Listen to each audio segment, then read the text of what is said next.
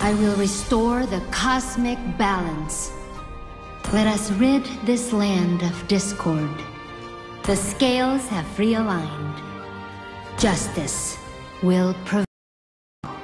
Ah, the soothing starlight. The equinox is here. This could balance the scales. Gracious are the stars. Your power belongs to the stars now. Enough of your discord! The weight of the cosmos rests on the scales of justice. There's a light within you that shines as bright as any star in the sky. In the light, we see our path. In darkness, we see the stars. Without the night, the stars cannot shine their brightest. The stars illuminate our lives in many mysterious ways. Once harmony is restored, I will return to my eternal sleep among stars.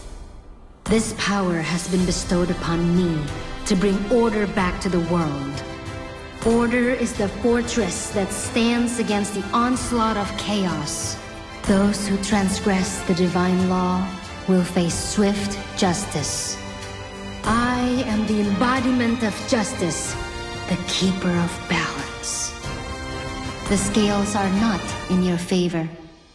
Balance must be maintained. The stars will punish you. Bear the weight of the cosmos. Face Libra's judgment.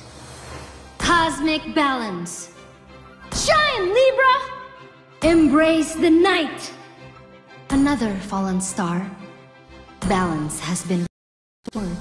The divine law is absolute. The scales have tipped.